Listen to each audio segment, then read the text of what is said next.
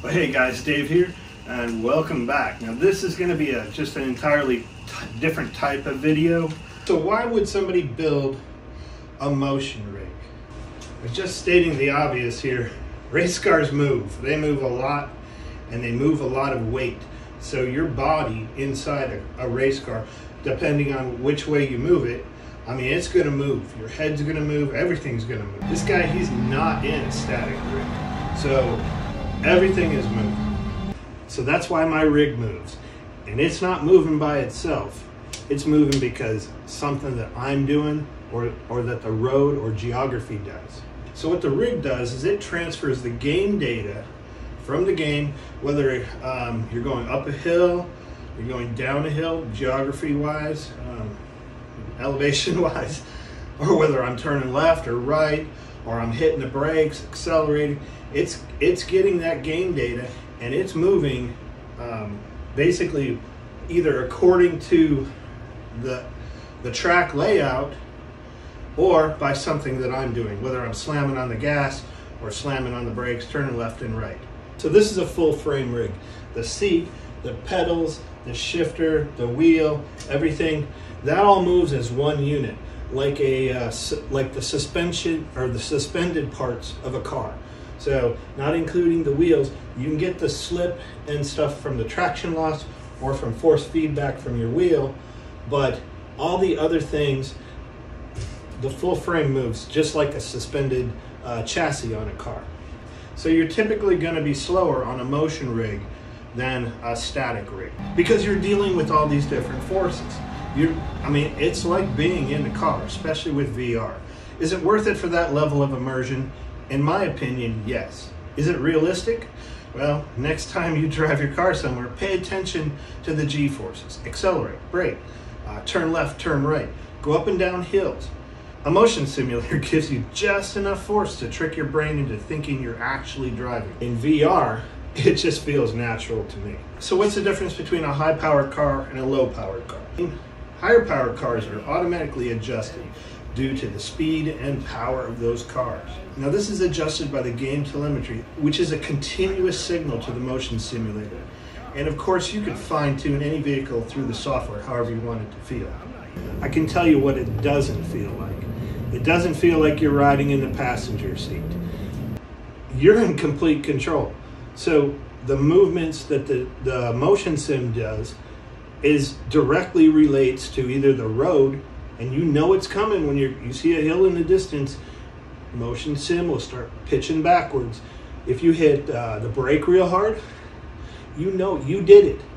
The motion sim is going to slam forward or ease forward depending on the force. So it's getting this continuous stream of telemetry. It's telling this thing what to do. So mine has three motors um, each around 35 kilohertz. So 35,000 times a second, it's sampling the position of the motor and telling it where to push or pull or whether it needs to keep moving. So remember, you're in complete control. This thing is not doing anything except sitting there unless you start pushing the gas. And your brain does get tricked. Um, so it's not like sitting in a passenger seat, like say you go off-roading with your friends and you're sitting in the passenger seat and you're hitting bumps that you're not expecting, you're turning left and right because you, you're not in charge of the wheel. Eh, it's nothing Nothing at all like that. So that's why I did this video.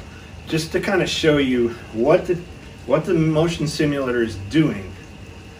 And to tell you, man, it, it is so cool. In VR, I've got all the haptics going. The only thing I don't have is that new vibrating pad thing that Hippie has. Yeah, I think I might get one, but right now, motion, VR, and uh, racing with you guys at ACF. Yeah, man, this track, try it out. I'll put a link in the description if you never tried it. It's it's it's it's a handful. I don't know how they race GT3 cars here, uh, given it's a tight track. It's super twisty and, and turns. Um, anyway, so enjoy the video. Um, give me a comment, something. At least you get to see the reason anybody would even try to do this. I can't wait to build a flight simulator. This is the new rig. It's got the Fanatec, uh, Fanatec CSL DD. This is going to be better than this one. All new motors, everything like that. This one's been running for three years. Other than a couple little hiccups with breaking the lever arms off, rock solid. All right, so let's get to the video, guys. Uh, hey, subscribe, like. All right, so let's take a quick run around Knutstorp, uh, which is a track that I raced this last weekend with the ACF guys. Uh, we did two races, 20 minutes each. And yeah, man, this thing is a roller coaster. And that put this motion sim to the test. But, you know, it passed. It's been running for three years great. And yeah, it's a DIY rig. I'm going to be in that BMW Mini FJ56. And once again, this track in VR, let's go. Now I have the track map up. I've got this little timer thing which I normally don't drive with all this stuff, but we're going to give it a shot. We're going to start in 10th place.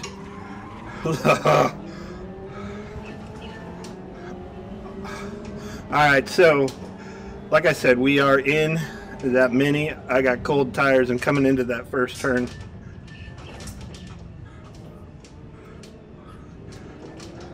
This is against the AI, so...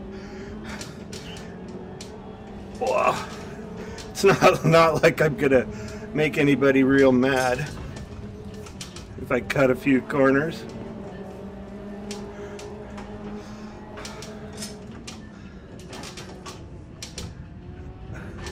Ah, come on, guys.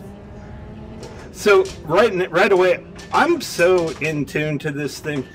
It feels so real to me. Now you may not see the traction loss, you know, the uh, the rear end sliding out like you might in a, uh, whoa, that's, that's a wicked turn. Like you might in a, a rear wheel drive car, but, uh,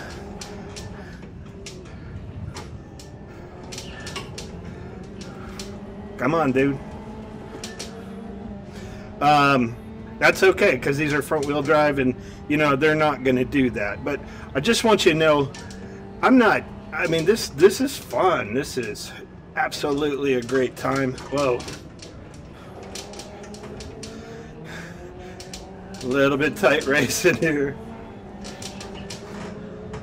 It's a tight track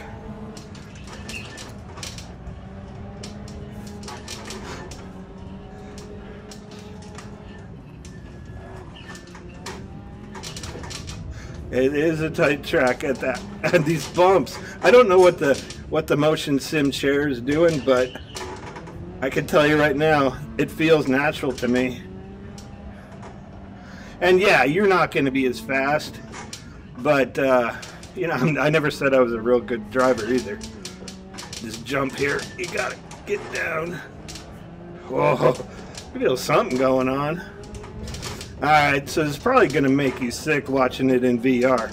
But, let's see if I can get... I don't even know what my time is like horrible right now. 108, that's because of the traffic, guys. But, you know, don't be afraid of motion sims. Don't be afraid. They act... I mean, there's thousands of guys that drive these things, so don't uh, think that it's going to be something that you can't handle, just don't don't be afraid. That's all I can say. All right. All right, Dave out. Whoa, shit. tried to stop talking and try driving.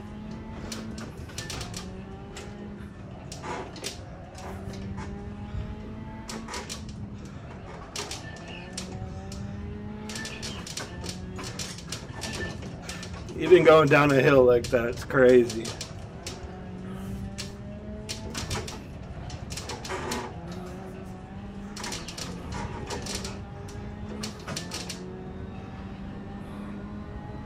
Alright, well we made it. Not too bad. Hey, subscribe, like. I'd appreciate you guys along for the ride. All right, Dave out.